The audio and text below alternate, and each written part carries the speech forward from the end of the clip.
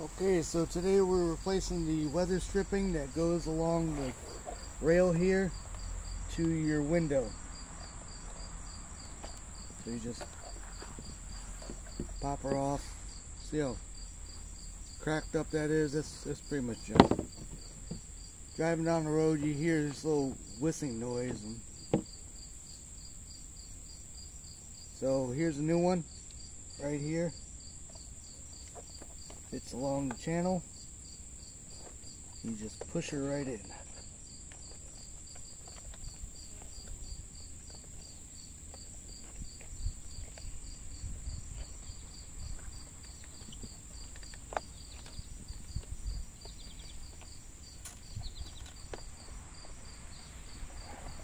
Just like so.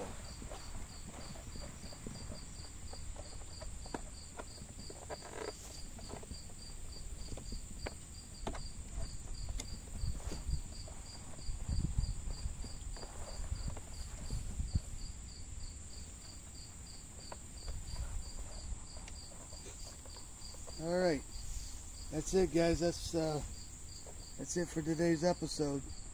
So, see ya.